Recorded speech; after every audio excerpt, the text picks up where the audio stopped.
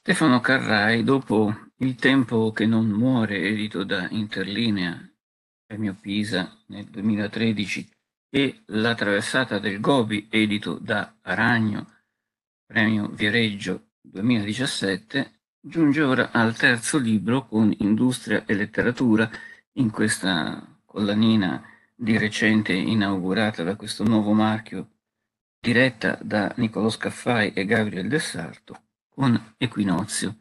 È una raccoltina che prosegue la rammemorazione dei tempi mitici della giovinezza e eh, la meditazione su come eh, si sia sviluppata la vita e si sia trovata adesso a eh, fiorire in altre direzioni rispetto a quelle che erano della gioventù. Per questo il tocco particolarmente nostalgico, eh, che naturalmente però sposa anche dei temi non solo privati ma anche sociali e politici eh, di, questa, di, questa, raccolta. Eh, ve ne leggo due eh, frammenti. Eh, una ragazza di Milano bruna, minuta, innamorata di Picasso, mi porto a lei, a punta bianca, a lei, sulle puane a fare il bagno nelle pozze d'acqua dolce. Due anni dopo era morta di overdose.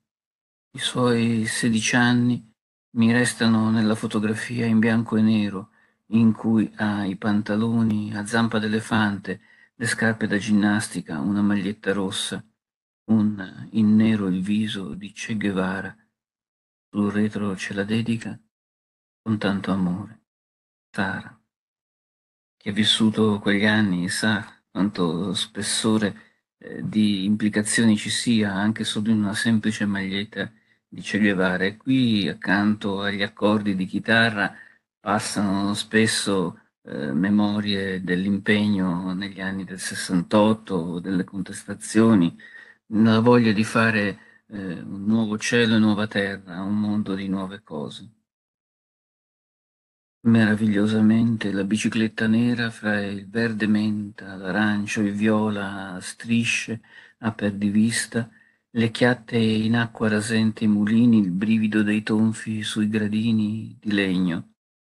Poi lo strazio del passaggio segreto per il retrocasa, i tedeschi in costume oltre le dune, ma allora contava solo la grande fuga, il trompe-l'œil dell'estate, si stipavano scatti dentro il cuore schedario, credendo di inventariare il futuro, costruendoci invece un collage di passato inconsapevolmente.